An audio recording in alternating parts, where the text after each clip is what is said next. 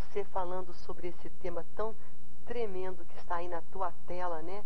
Os benefícios das provações. E você pode estar pensando, que benefício há passar por essa dor? Deus, ele vê de maneira diferente. Ele vê, sabe, benefícios porque a tua fé está crescendo, o teu caráter, a sabedoria, a as tuas atitudes, você está sendo forjado, você está sendo, é, você está crescendo, você está sendo fortalecido. Pelo contrário, né, você acha que você está sendo é, enfraquecido, cansado, diminuído, é, quem sabe humilhado, mas não é assim que Deus está vendo essa situação, não. Os teus olhos podem estar um pouco equivocados, porque Deus vê de uma ótica diferente.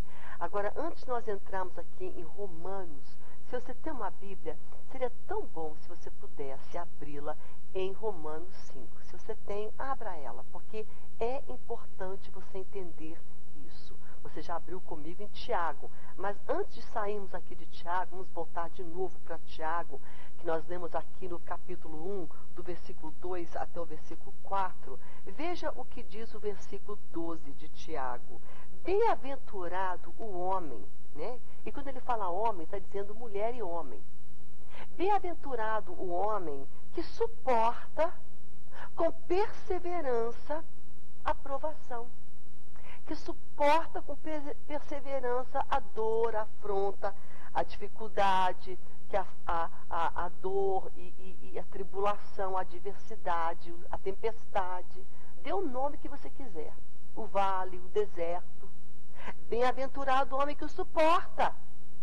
Mas não suporta reclamando, suporta querendo desistir, mas perseverando, confiando em Deus, perseverando na fé, perseverando na oração, perseverando olhando para Deus, perseverando na casa de Deus, perseverando nele.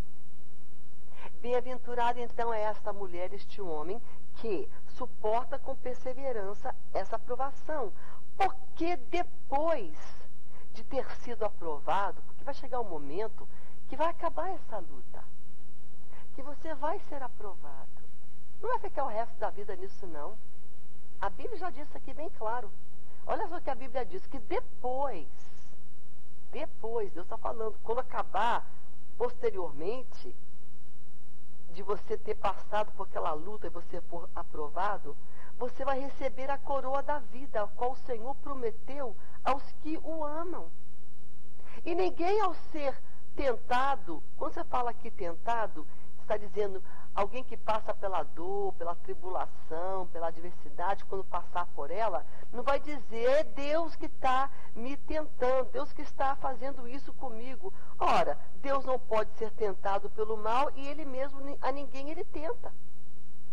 Então, está dizendo aqui, ah, mas está passando essa, essa, essa coisa tão difícil, porque não, Deus permite tribulações. Ele permite coisas adversas. Tem a permissão dele. Um dia, ele falou isso para mim. Eu estava muito triste por uma circunstância que abateu o meu casamento, que abateu minha família. Hoje eu sou vitoriosa, hoje estou bem, meu casamento está bem, meus filhos estão bem, mas não foi uma coisa fácil.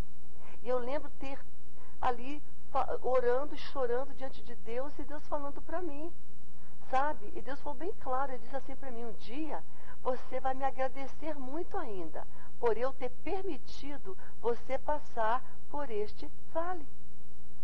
Deus falou isso. Você vai me agradecer muito ainda. Por eu, eu ter permitido. Então, esse vale que você está passando aí, essa adversidade, nada toca você que não primeiro tenha passado pelas mãos de Deus. Passou por Deus, ele permite tocar você. Permissão de Deus. Nada chega para nós que Deus não tenha dado a sua permissão. E ele me falou claro isso aquele dia.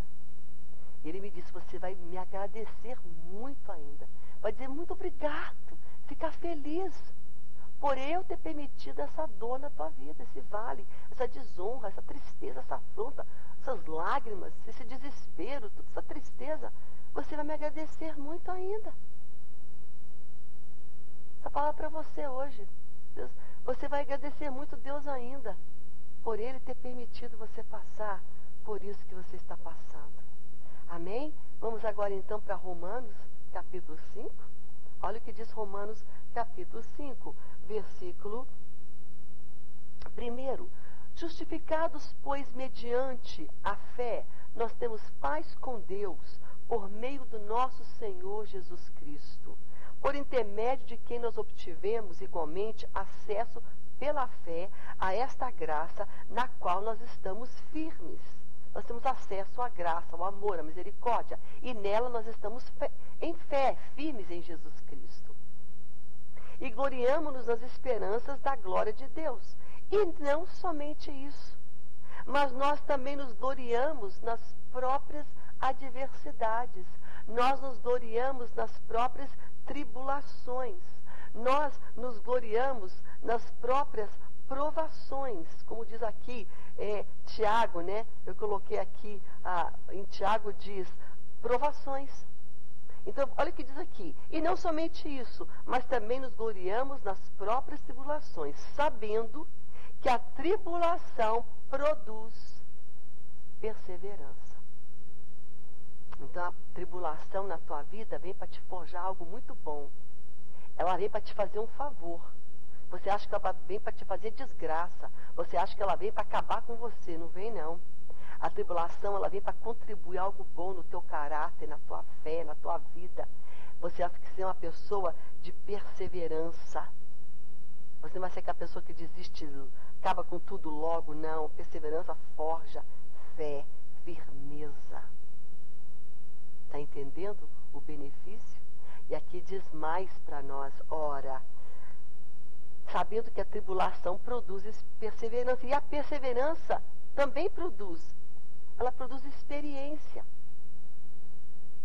Você fica mais experiente, menos infantil, menos uh, aquela pessoa, não é, é que é, imatura você fica maduro, experiente. E aí, a experiência também produz, ela produz esperança. O que é esperança? Fé. Você se torna uma mulher de fé. Como é que você se torna uma mulher de fé? Na adversidade.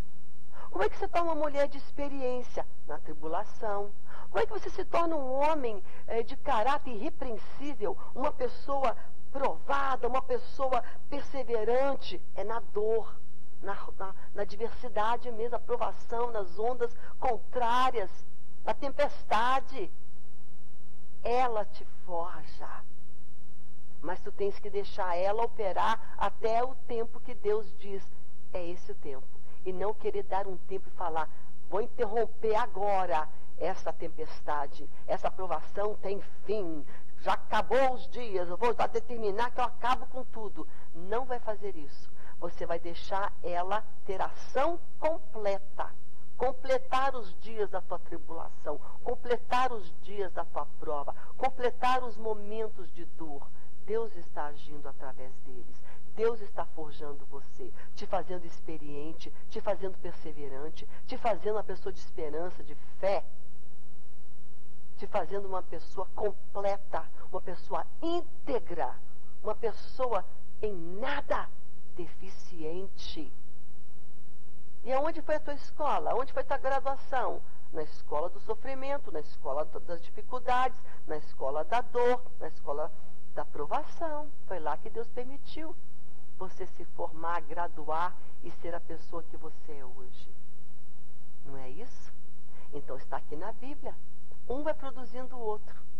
Então você vai deixar e não, então, não interromper, deixar ter ação completa, deixar completar os momentos que Deus determinou.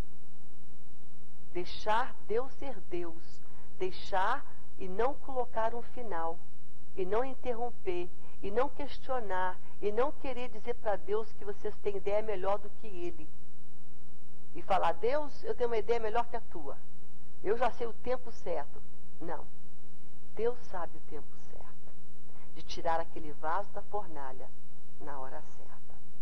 como você que sabe fazer bem as suas receitas, né? Naquele molho, nem muito cedo, nem muito depois. Porque se você tirar um pouco antes, o bolo fica cru. Quem quer comer bolo cru? Quem quer comer uma coisa mal feita?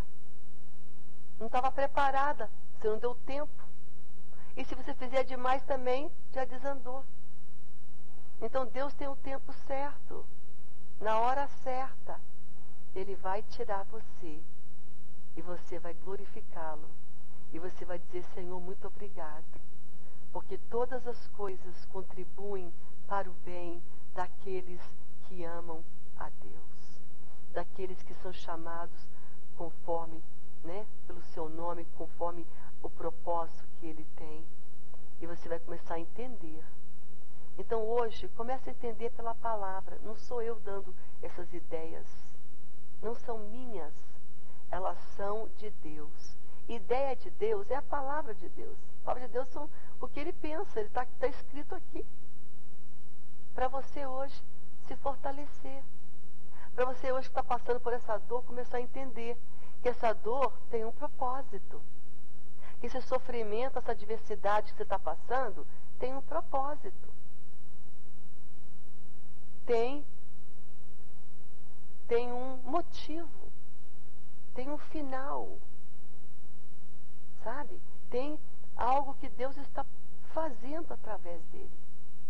Deus está permitindo ele. Agora, qual é a tua reação e a minha? Impaciência? Porque a impaciência é um fruto do orgulho. Quando o orgulho já está, sabe, evidenciando, está dizendo, olha, eu não tenho tempo para isso, eu não vou ficar desse jeito, eu não vou permitir isso, vou pôr um ponto nisso, acabou, não tem mais jeito. O que, que, é isso? Estou aqui já passando tanto tempo nessa luta e ainda eu tenho que ficar mais tempo nela? Depende de você. E de mim. De nós. O que Deus está falando conosco é muito sério.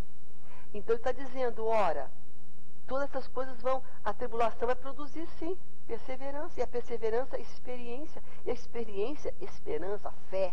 Ora, a esperança, ela não confunde, porque quem espera em Deus nunca vai ser confundido. Porque o amor de Deus é derramado em nosso coração pelo Espírito Santo que foi otorgado. Então Deus está dizendo para você que você não vai ficar confundido, não. É só você confiar nele e deixar essa luta ter ação completa na tua vida. Só sair, só, só estar ali à disposição de Deus até o momento que Deus fala: agora vou abrir para você um escape e vou te dar um novo momento. Deus também falou isso ao meu coração. Alguns anos passados, Deus falou para mim assim: prepara o teu coração para o milagre. Eu não entendi. Eu falei assim: como que é, Deus? E Deus falou para mim: prepara o teu ser, tua alma, teu coração, tua vida para receber um milagre. Porque do jeito que meu coração estava, não estava preparado para receber o que Deus tinha. Então, muitas vezes, a tribulação, a dor, a adversidade é um preparo de Deus para você e para mim, para nós darmos conta de podermos receber, nos preparar para receber coisas maiores e melhores de Deus. Honra, bênçãos financeiras, bênçãos espirituais, prosperidade de todo tipo. Tem pessoas que não estão preparadas, não vão, vão se lambuzar tudo. Desculpa falar essa palavra. Não vão, não vão saber suportar tanta bênção. Aí Deus então fala: vou preparar para receber essa bênção. E o preparo não é na montanha, no oba-oba.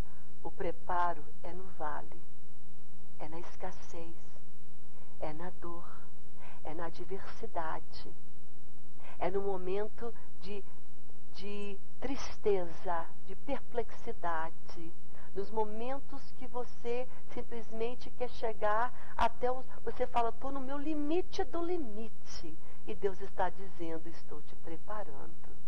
É o preparo de Deus para você poder receber coisas boas de Deus.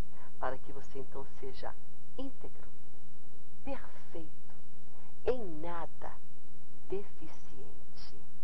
É assim que Deus quer você. Com fé eficiente, sabedoria eficiente, caráter eficiente, pessoa forjada, fé, sabe, amor, paciência, esperança. Deus quer forjar tudo que Jesus tem, Ele é, o caráter dele, do próprio Deus, em você e em mim. Ele vai permitir isso. Amém? Mas aí, esse mesmo Deus que me disse essa palavra, prepara o teu coração para o milagre, um tempinho depois, esse mesmo Pai maravilhoso me disse: está chegando um novo tempo na tua vida. Então, depois das provas, quando você deixa Deus ter ação completa, vai chegar um novo tempo. Vai chegar o tempo da bonança. Vai chegar o tempo, sabe, que a gente fala de refrigério. Deus é fiel. Então deixa ter ação completa. Não murmure e não reclame. Não é fácil. Nós todos, quando as coisas não vão como a gente quer, a gente começa a querer murmurar. Ah, mas está demorando muito, mas ah, Deus. É, temos que ter vigiar para não murmurar contra Deus. Não murmurar contra aquela porta que não se abriu ainda, por uma circunstância que está arrastando e está ainda daquele jeito, e você quer que ela mude, muda, muda, muda, Deus. E Deus está permitindo. Sabe o que significa isso? Que você está deixando, você vai indo, você está deixando essa, perseverando, deixando essa, essa circunstância ter ação completa. Você está deixando Deus ser Deus e você está lá com Ele. Está entendendo? É para mim hoje, para você essa palavra. E aí Deus vai te honrar. Quando Ele vê que você não murmurou. Uma outra atitude perigosa também, que pode também atrasar o teu milagre, além da murmuração, é a autocomiseração. Ah, mas eu não mereço. Pobrezinha de mim, poxa, sou uma pessoa tão boa, por que isso? Nós não somos tão bons como a gente pensa, não. Então, nada de ficar com peninha, ah, pobrezinha, isso aí é uma armadilha. Satanás ama colocar arapucas para você e para mim. E uma das arapucas de Satanás é a autocomiseração. É uma arapuca dele. Cuidado, ó. Fica vivo. É, uma, é um engano, é um laço que ele coloca. Dois laços. Murmuração é um laço. É que você murmure. Reclame de tudo. E que você comece a ficar com pena de você mesmo, pena dos teus filhos, pena do teu marido, pena da família, pobres de todo mundo. Não. Você vai deixar Deus ter ação completa vai perseverar. E aí você vai ver o que, que Deus vai fazer quando você permitir. Amém? Esta é a palavra gloriosa do Senhor hoje para os nossos corações. Receba do Senhor hoje esta palavra em nome de Jesus. E não questione Deus. Deus não deve ser questionado. Deus deve ser honrado, louvado, amado, engrandecido. Porque quanto mais você louva engrandece, ama, sabe? Olha, aí Deus realmente vai mover de uma maneira poderosa a teu favor. Amém? E leia essa passagem hoje para a tua edificação. São duas. Tiago capítulo 1, Romanos capítulo 5. Palavra de Deus. Porque afinal das contas, hoje nós abrimos a Bíblia. Esse é o programa Abrindo a Bíblia. E a palavra de Deus foi ministrada ao teu coração e ao meu também. Louva ao meu Deus e agradeço a Ele por esta palavra. Amém? Vou fechar ela aqui, que agora nós vamos para o nosso bloco, próximo bloco, e nesse próximo bloco nós vamos falar com Deus. Deus já falou com a gente, né? Agora chegou a nossa vez de orarmos, falar com Ele e dizer para Ele o que está no nosso coração, as nossas causas vão ser apresentadas para Ele em oração. Daqui a pouco mais eu volto com você.